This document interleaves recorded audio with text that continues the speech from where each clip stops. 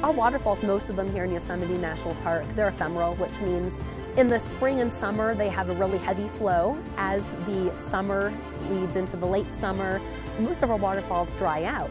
And then as early, late winter come around, we've had recent winter storms that have refilled the rivers that flow into the waterfalls and fuel the waterfalls. And so we just have this wonderful cycle um, that we see here in Yosemite National Park